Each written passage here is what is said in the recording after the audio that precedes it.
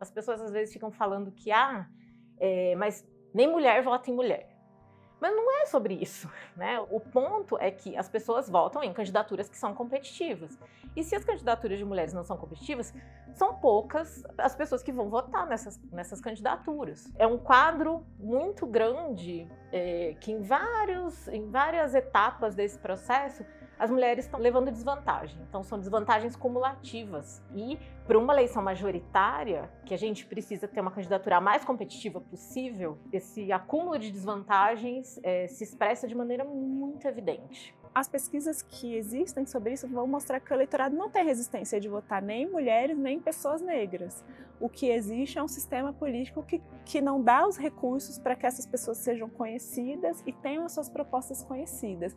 Então é muito reducionista você culpar as mulheres pela discriminação que as mulheres sofrem, sendo que é uma sociedade como um todo, né, que produz essa discriminação e essa desigualdade. As mulheres na sociedade, elas fazem as escolhas a partir de condições objetivas, não a partir do seu gênero, né? Como essas candidaturas são apresentadas, como, como era a distribuição de recursos. Quando nós fixamos uma cota de distribuição de recursos para as candidatas mulheres, a gente dobra a participação de mulheres.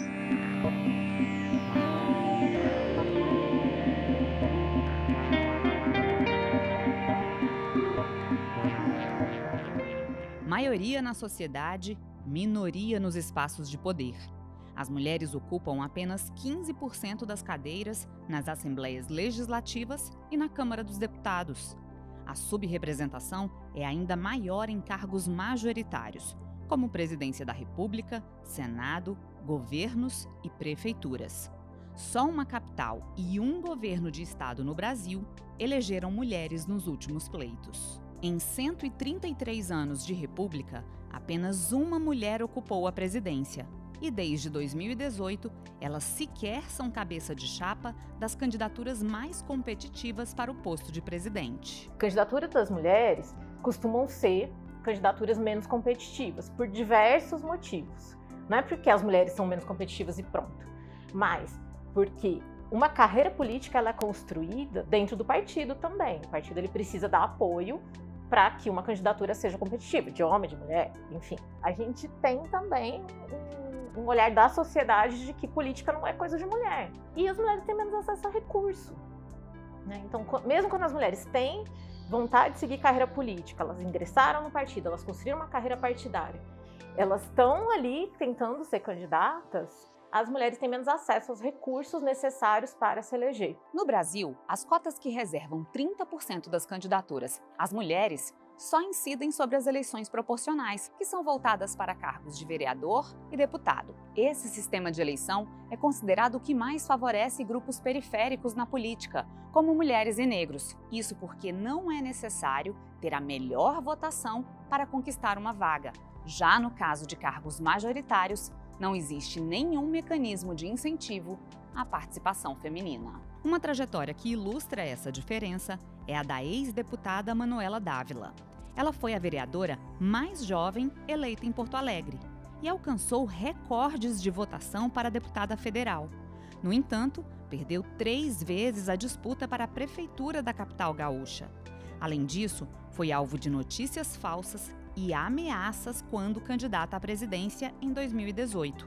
Mesmo depois das eleições, os ataques continuaram e chegaram a atingir a filha dela, na época com 5 anos. Agora, em 2022, Manuela optou por não disputar qualquer cargo. Um dos motivos é a falta de unidade em torno do nome dela, condição necessária para qualquer candidato, e mais ainda para quem é alvo de violência política. Uma pessoa que é ameaçada permanentemente, né, como eu sou há pelo menos sete anos, eh, se não tem unidade, ela está menos protegida ainda. Então, a unidade política é também é uma forma de proteger quem se expõe, né? quem topa dar a cara ao tapa, mesmo sabendo o tipo de violência que sofre. Sim, a violência política de gênero é um mecanismo regulador, na verdade, de corpos. É como se fosse na guerra o tiro ao primeiro soldado.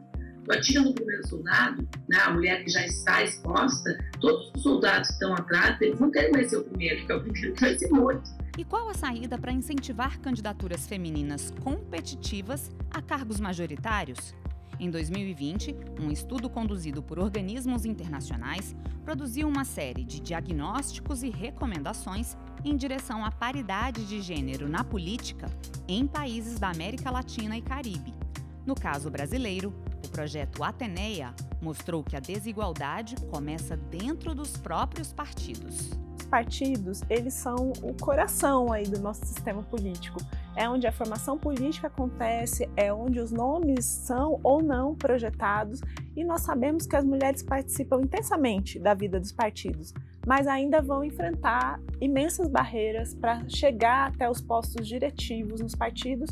Então, isso é algo também que o Ateneia propõe, né? que os partidos tenham mecanismos formais de inclusão das mulheres nesses postos, porque é aí que se, se decide sobre candidaturas, se decide sobre financiamento, sobre formação, e a gente acredita que quanto mais mulheres tiverem, mais esse tema da igualdade, da paridade entre homens e mulheres na política vai ser olhado. Né? E eu acho também importante pensar que os partidos eles sempre reivindicam a autonomia deles, ou seja, eles querem se organizar do jeito que eles quiserem. Mas eles existem por interesse público e a maior parte do financiamento que garante o funcionamento deles também é público. Né? Então, assim, acho que eles precisam servir ao interesse público e é do interesse público a paridade interna dentro dos partidos políticos. O que, que significa paridade interna? Que 50% dos cargos de direção daquele partido devem ser ocupados por mulheres. Por quê? Porque as mulheres elas estão nos cargos de direção que controlam os recursos partidários. Né? E aí controla acesso a, a redes, a militância. O voto feminino no Brasil só foi reconhecido em 1932, mais de um século depois do voto masculino. Até hoje, as mulheres ainda não alcançaram o pleno direito político, porque apesar de conseguirem votar, não têm acesso a todas as condições para serem eleitas, o que fica claro com a subrepresentação feminina. A ocupação de mulheres em cargos de poder, principalmente majoritários, é vista como uma estratégia para que as políticas públicas também sejam feitas para elas.